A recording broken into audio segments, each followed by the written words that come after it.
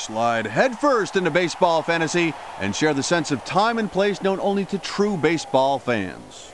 In the new Baseball for Windows, Hall of Fame announcer Ernie Harwell now calls the action.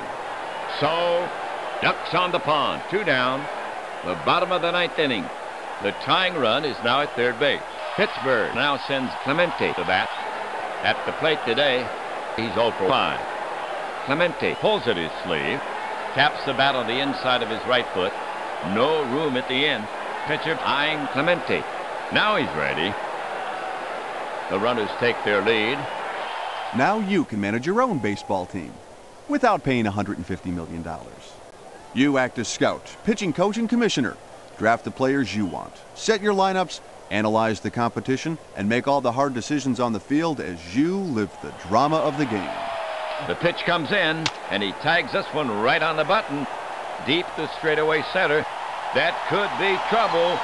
Blair racing back. Big trouble. That ball is gone. A grand slam home run for Clemente.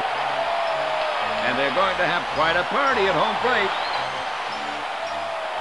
Play against a friend, challenge two expert computer managers, or just relax in spectator mode.